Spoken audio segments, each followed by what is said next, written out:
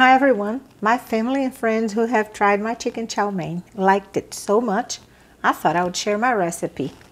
I like a little extra chicken in my chow mein, so I use one pound and a half of chicken breasts. And these two breasts right here weigh just that. I start by slicing the breast in half, like that. See the direction of the grain? I cut it across the grain. Quarter inch slices. So now I'm going to tenderize the chicken. For every pound of chicken, I use one and a half teaspoons of baking soda. Since I have one and a half pounds of chicken, I'm going to use two and a quarter teaspoons of baking soda. So two and a quarter teaspoons. And massage it in. I don't like to put baking soda in the sauce, in the marinade, because it has a chemical metallic aftertaste and I don't like it. So I always tenderize it before marinating. Let's massage it really good. Get every piece. And I'm going to let it sit in the baking soda for 20 minutes. While the chicken tenderizes, I'm going to make its marinade. Half a teaspoon of sugar, half a teaspoon of salt, half a teaspoon of white pepper powder, four garlic cloves that I grated, two tablespoons of rice wine or sherry wine, 2 tablespoons of soy sauce and mix it well. Add 1 tablespoon of cornstarch. Mix it again.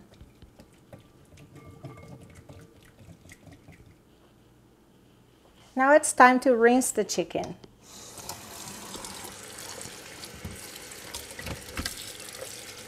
Rinse it well to get all the baking soda off of it.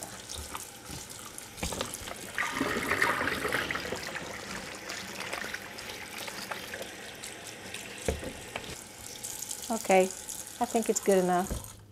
And place it in a bowl to marinate. Mix it in. And add one tablespoon of canola oil. Mix it in again. It smells good already. I cover it with cling wrap. I'm going to let it marinate in the fridge and remove it about 10 minutes before I have to use it. Now I'm going to make the sauce. I'm going to start putting in quarter cup of salted chicken broth, 4 tablespoons of soy sauce, 2 tablespoons of dark soy sauce, 3 tablespoons of oyster sauce, half a tablespoon of sweet chili sauce instead of sugar, half a teaspoon of white pepper powder, and 1 teaspoon of sesame oil. Whisk it, and that's our sauce. It's delicious, everyone already. Mmm, yum. Okay, I put two quarts of water to boil. Ooh. And I'm going to cook the noodles. Here I have one pound of frozen noodles. You may use spaghetti if you don't have chow mein or lo mein noodles even. I've made it with thin spaghetti before and it was fantastic. You may use fresh noodles, whatever you have on hand or can find. I'm going to cook the noodles for about 8 minutes until they're al dente. The noodles have finished cooking and I'm going to drain them now.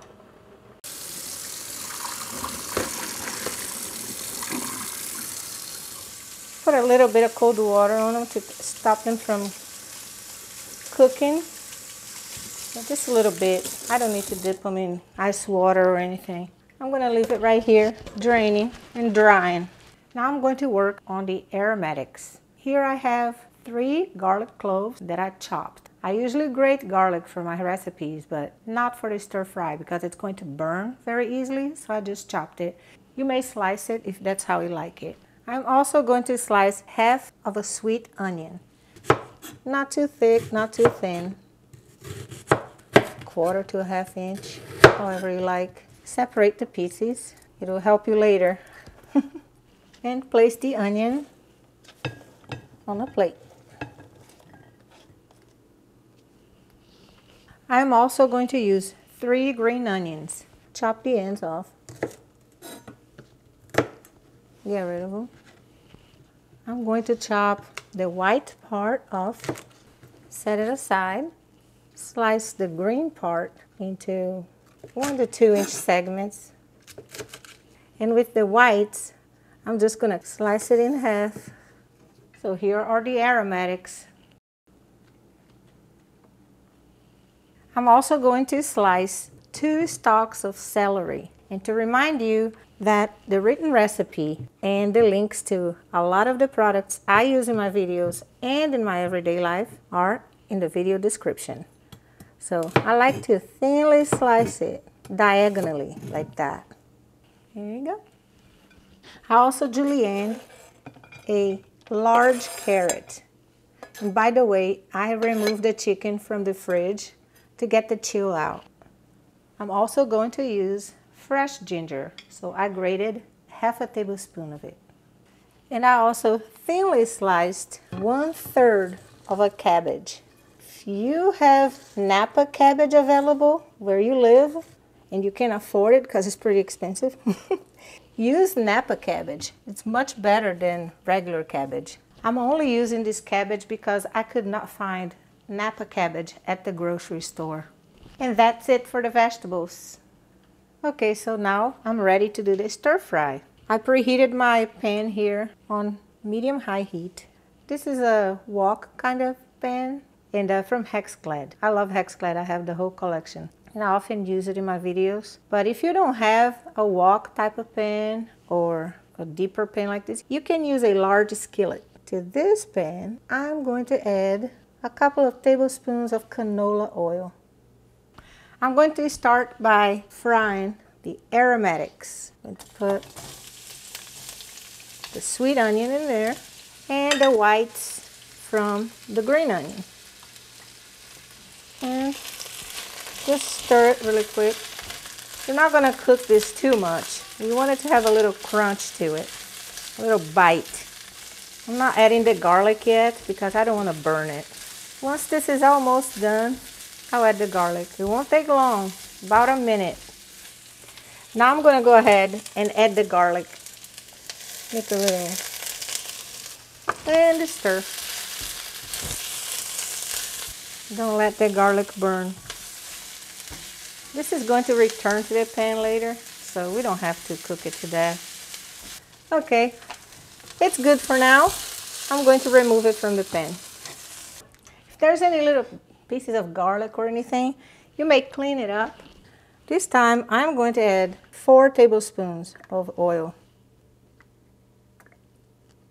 All right, the oil is hot. Now I'm going to add the cabbage, the carrot, and the celery.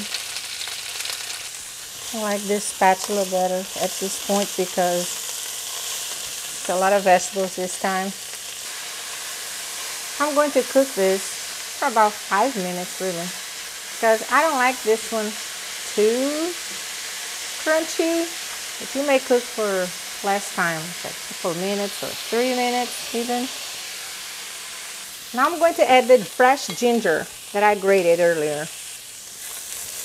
Mix it up. Ginger makes such a difference.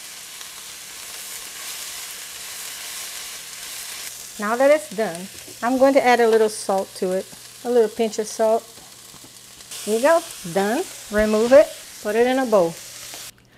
On to the chicken. I'm really gonna add a lot of oil now. I'm gonna cover the whole bottom of this, like that. I'm going to add the chicken.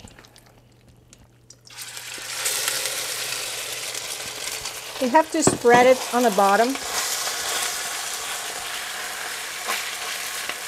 the best you can. all the pieces.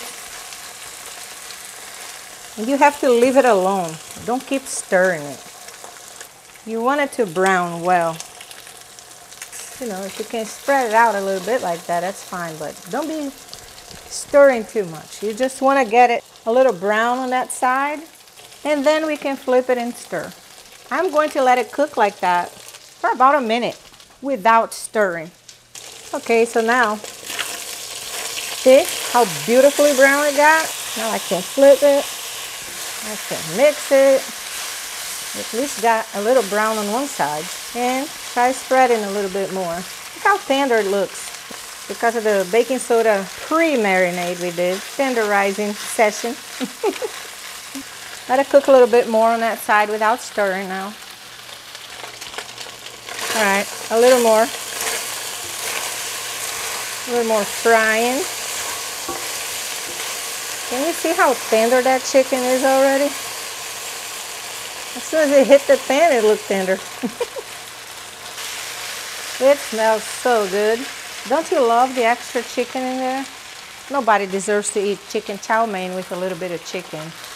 Okay, leave it alone a little bit and let it cook on that side too. Whatever's touching the pan. Give it the chance to brown.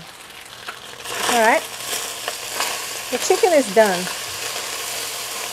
I'm going to remove it from the pan. And it's ready for the noodles. Put three tablespoons of canola oil in here. Coat the sides like that. And my noodles are awesome. Look, they're dry. I'm going to pull this strain, oil it all up, fry the noodles very well until they warm up very much. The chicken tastes so good. Already stole a piece. Oh my. That marinade is money. Now I'm going to add the sauce. Just a little bit, like half for now and coat it. Coat it well. I like my chicken chow mein to be well coated. Have plenty of sauce because the noodles are going to absorb some of the sauce. So you want to have plenty. Okay, so now I'm going to add the aromatics back to the pan. It looks so good already. And the vegetables. And toss it a little bit. Incorporate it a little bit like that. Isn't that gorgeous? If you like this recipe, please leave me a like and share with everyone you think would like it too. Subscribe to my channel. I have a variety of, you know, recipes. So. Now, I'm going to add the chicken. Oh, wow. Look at this velvety goodness. Wow. And the taste, everyone. You're going to love this marinade. Even if you don't even use for chow mein, you can use it on anything else because let me tell you, this is really tasty. this chicken is so tasty.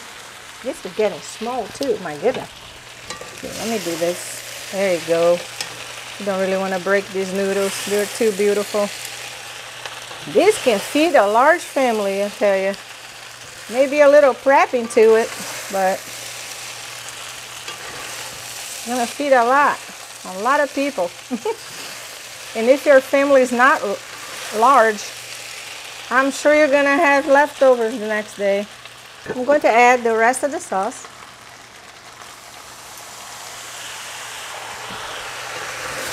Do the same thing again.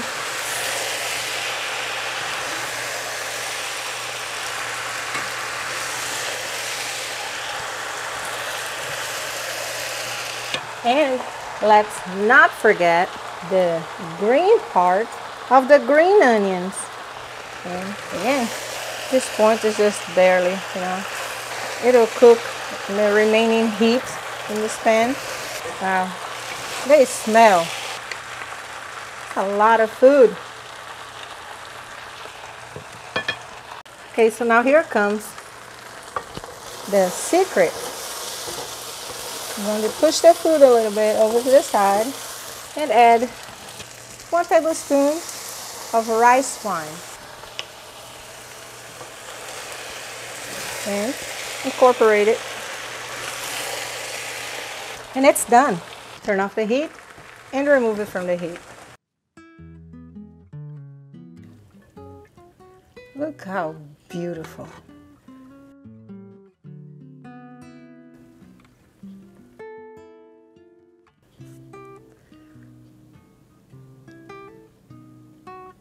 Look how tender and juicy this looks.